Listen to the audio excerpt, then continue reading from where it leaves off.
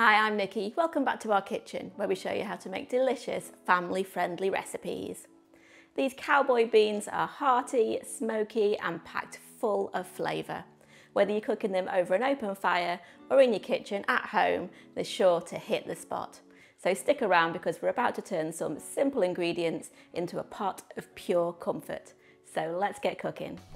Heat a large Dutch oven or heavy base pan over a medium heat.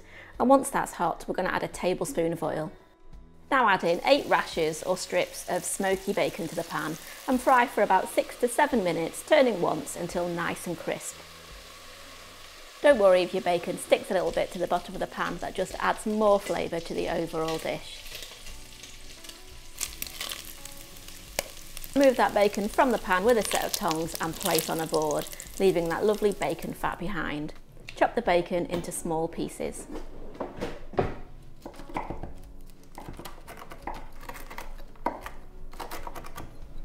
And now that bacon's all chopped up, we're going to put it to one side and then we're going to use that lovely bacon fat that's left in the pan to fry the onions.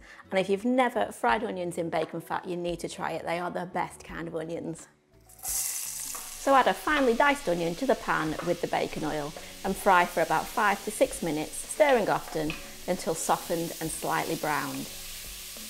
So as those onions fry, they release moisture and that cleans the pan and picks up those delicious bacony bits and it makes those onions look lovely and dark and taste fantastic. Next in goes two minced cloves of garlic. Give that a good stir together and then we're going to add in 500 grams or 1.1 pounds of minced beef. Turn the heat up to medium high and fry for 5 to 6 minutes until browned.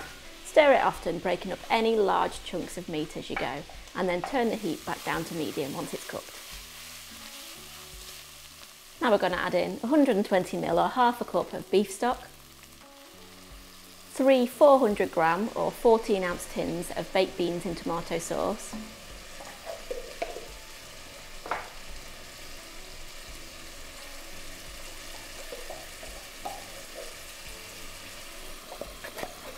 a 400 gram or 14 ounce tin of kidney beans, that have been drained, a tablespoon of Worcester sauce,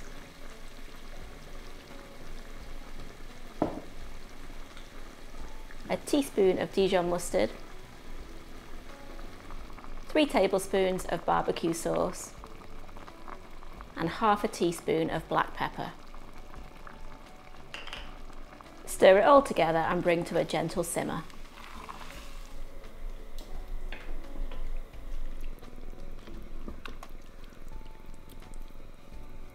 We're going to let that simmer for about 10 minutes now, giving it a gentle stir every so often just so it doesn't stick to the bottom of the pan.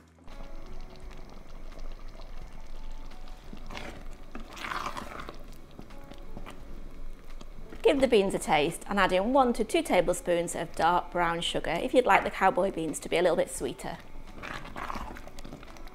Now add in that chopped bacon. I like to reserve a little bit for sprinkling on top later. Give it a stir and cook for a further minute until that bacon is heated through. Then turn off the heat and we're ready to serve.